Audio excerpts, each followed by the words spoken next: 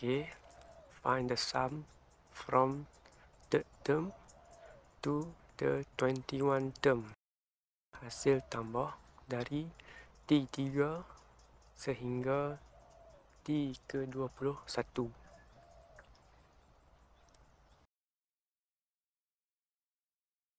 Kita boleh tulis sebagai hasil tambah 21 sebutan tolak dengan hasil tambah untuk dua sebutan. Okey, pertama sekali label T1, T2, T3, T4. T1 adalah sama dengan A dan kemudian cari common difference D. Okey, T2 tolak T1.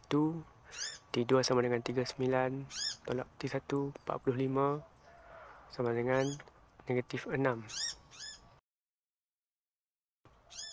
Okey, kemudian cari T4 tolak T3 T4 27 tolak T3 33 sama dengan negatif 6 jadi D kita negatif 6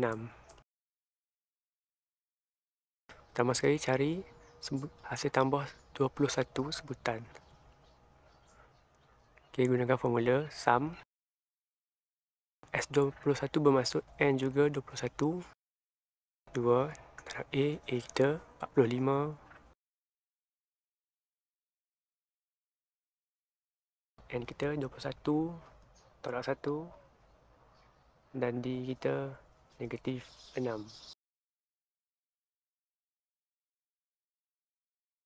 salin balik. Ok salin balik.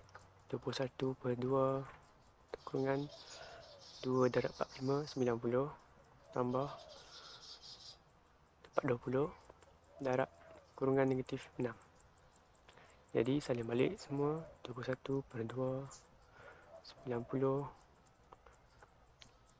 20 darab negatif 6 dapat negatif 120 ok positif negatif dapat negatif. Kita salin balik.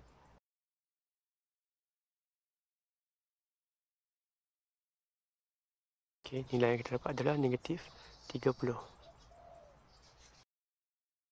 Okey, nilai yang terdapat adalah negatif 315. Jadi ini adalah hasil tambah untuk 21 sebutan. Okey, seterusnya kita cari hasil tambah untuk dua sebutan. S2, jadi formula masih sama. N dia 2.